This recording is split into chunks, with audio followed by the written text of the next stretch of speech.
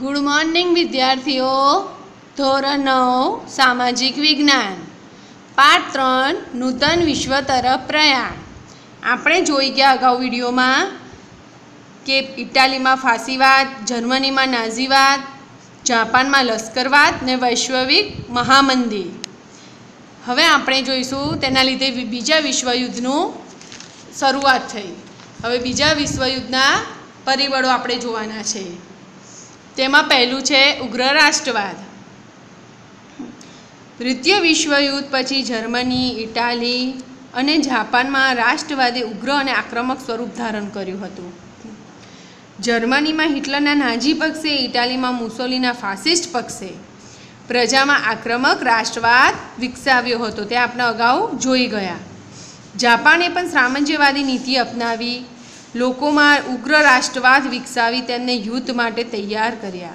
પરિણામે વિશ્વ શાંતિ જોખમાઈ. હવે બીજું છે એનું પરિણામ, પરિબળ જૂથબંધીઓ.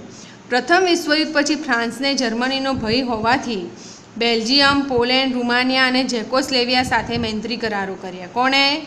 બેલ્જિયમ, પોલેન્ડ ને રૂમાનિયા. ઇટાલીએ જેકોસ્લેવેકિયા યુગોસ્લેવિયા, રૂમાનિયા, હંગેરી, તુર્કી, ગ્રીસ અને ઓસ્ટ્રિયા સાથે શું કર્યું? કરાર કર્યો. ઇટાલીએ જર્મની અને જાપાનમાં સહયોગથી રોમ, બર્લિન, ટોક્યો ધરીની રચના કરી.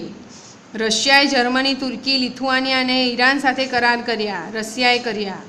ઇંગ્લેન્ડ અને ફ્રાન્સે લોકશાહી મૂલ્યો ધરાવતા દેશોનું જૂથ રચ્યું.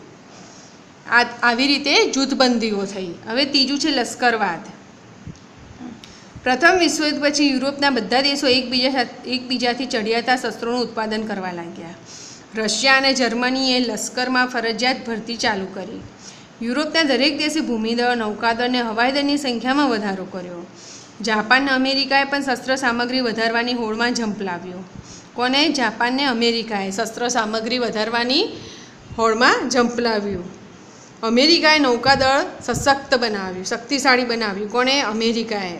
આમ સશસ્ત્રીકરણે દોડે વિશ્વની યુદ્ધકીય વાતાવરણમાં પલટી નાખ્યું. દ્વિતીય વિશ્વયુદ્ધના નગારા વાગવા લાગ્યા. આ લશ્કરવાદ મુખ્ય પરિણામ પરિબળ હતું એનું.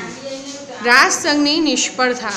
ઇટાલી, જાપાન અને જર્મની જેવા રાષ્ટ્રો તેમની સામ્રાજ્ય લાલસા સંતોષવા નાના અને નબળા રાષ્ટ્રો પર આક્રમણ કરવા લાગ્યા. કોણ આક્રમણ કરવા લાગ્યું? તો ઇટાલી, જાપાન ને જર્મની.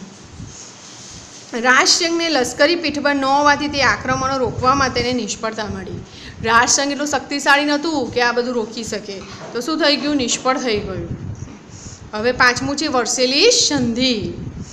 જર્મનીના યુદ્ધ માટે જવાબદાર ગણી તેને છ પોઈન્ટ પાંચ અબજ અબજ પાઉન્ડનો જંગી યુદ્ધ દંડ નાખવામાં આવ્યો જર્મની ઉપર. કેટલો? છ પોઈન્ટ પાંચ અબજ પાઉન્ડનો.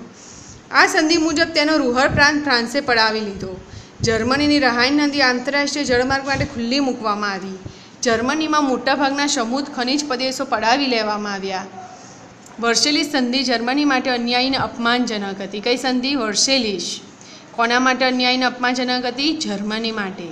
તેથી જર્મનીના સરમુખત્યારશાહી હિટલરે આ સંધિને કાગળનું ચિત્રું કહીને ફગાવી દેવાની પ્રજાને હાકલ કરી. કાગળનું ચિત્રું કહીને. તેથી જર્મનીની પ્રજાને યુદ્ધનું પ્રોત્સાહન મળ્યું. વર્સેલી સંધિમાં ઇટાલીની ઉપેક્ષા થઈ હોવાથી તે રોષે ભરાયું હતું. આ સંધિથી જાપાનને પણ ઘણો અસંતોષ હતો. આમ વર્સેલિસની અન્યાયી સંધિમાં દ્વિતીય વિશ્વયુદ્ધના બી વવાયા હતા. એડોલ્ફ હિટલરની સામ્રાજ્યવાદી મહત્વાકાંક્ષા. હિટલરે ઉગ્ર રાષ્ટ્રવાદી અને સૈનિકવાદી માનસ ધરાવતો હતો. તે ગમે તે ભોગે જર્મનીમાં એકતા, સ્થિરતા અને સમૃદ્ધિ ઈચ્છતો હતો.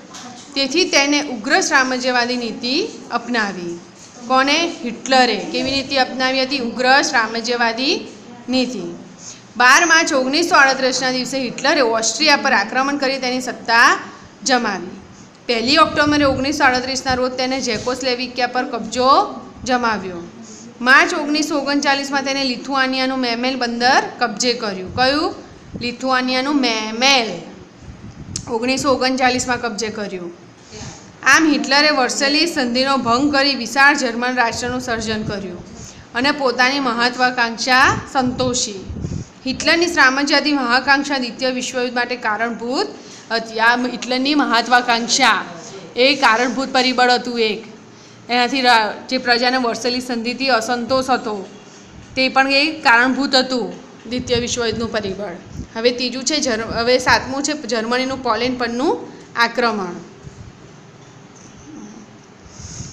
જર્મનીમાં સરમુખત્યાર હિટલરની સામ્રાજ્ય લાલસાને કારણે યુરોપમાં યુદ્ધનું વાતાવરણ સર્જાયું હતું. પહેલી સપ્ટેમ્બર ઓગણીસો ઓગણચાલીસના દિવસે હિટલરે પોલેન્ડ પર આક્રમણ કર્યું. કોણે? હિટલરે. બ્રિટન અને ફ્રાન્સે જર્મનીને આ યુદ્ધ તાત્કાલિક બંધ કરાવવાની ચેતવણી આપી, પરંતુ જર્મનીએ તેની અવગણના કરી. તેથી બ્રિટન અને ફ્રાન્સે પોલેન્ડના રક્ષણ માટે જર્મની સામે યુદ્ધ જાહેર કર્યું. આ રીતે દ્વિતીય વિશ્વયુદ્ધનો પ્રારંભ થયો. આ સાત કારણ લીધે દ્વિતીય વિશ્વયુદ્ધના જન્મ્યું. દ્વિતીય વિશ્વયુદ્ધ શરૂ થઈ ગયું. હવે આપણે જોઈશું દ્વિતીય વિશ્વયુદ્ધની રૂપરેખા. પહેલી સપ્ટેમ્બર ઓગણીસો ઓગણચાલીસના રોજ દ્વિતીય વિશ્વયુદ્ધની શરૂઆત થઈ ગઈ હતી. યુદ્ધ દરમિયાન વિશ્વના દેશો બે જૂથોમાં વહેંચાઈ ગયા. પહેલું મિત્ર રાષ્ટ્રો તરીકે ઓળખાતા બ્રિટન, ફ્રાન્સ, રશિયા, અમેરિકા અને તેમના મિત્ર રાષ્ટ્રોનું જૂથ અને બીજું ધરી રાષ્ટ્રો તરીકે ઓળખાતા જર્મની, ઇટાલી, જાપાન અને તેમના સાથી રાષ્ટ્રોનું જૂથ હવે એક છ છે કારણોએ દ્વિતીય વિશ્વયુદ્ધની રૂપરેખા રચી હતી. એમાં પહેલું છે પેસિફિક મહાસાગરમાં આવેલા અમેરિકાના હવાઈ ટાપુઓના લશ્કરી મથક પલ હાર્બર પર જાપાને હુમલો કરી, અમેરિકન નૌકાદળની ભારે ખુવારી કરી. આથી તટસ્થ નીતિ છોડી અમેરિકાએ જાપાનની સામે યુદ્ધ જાહેર કર્યું. અમેરિકા યુદ્ધમાં જોડાતા મિત્ર રાષ્ટ્રોની તાકાતમાં વધારો થયો. પરિણામે યુદ્ધની બાજી પલટાવા લાગી. બીજું છે સાત બે ઓગણીસો પિસ્તાલીસના રોજ જર્મનીએ બિનશરતી શરણાગતિ સ્વીકારી. યુદ્ધમાં મિત્ર રાષ્ટ્રનો વિજય થયો. ત્રીજું હતી, યુદ્ધનો અંત આવતા મિત્ર રાષ્ટ્રોએ જાપાન પર હુમલો શરૂ કર્યો. અમેરિકાએ જાપાનના હિરોશીમા અને નાગાસાકી તેમના શહેરો પર અણુબોમ્બ નાખ્યા. તેનાથી મહાભયાનક વિનાશ થયો. જાપાનમાં એક લાખ ચોવીસ હજારથી વધુ લોકો મૃત્યુ પામ્યા અને અસંખ્ય લોકો ઘાયલ થયા. અમેરિકાએ જે બોમ્બ નાખ્યો, એનાથી બે શહેરો પૂરેપૂરા પાયમાલ થઈ ગયા હતા. આથી જાપાને અગિયાર ઓગસ્ટ ઓગણીસો પિસ્તાલીસના દિવસે શરણાગતિ સ્વીકારી લીધી અને એ સાથે દ્વિતીય વિશ્વયુદ્ધનો અંત આવ્યો. હવે આપણે આગળ દ્વિતીય વિશ્વયુદ્ધના પરિણામો આવતા વિડીયોમાં જોઈશું. Thank you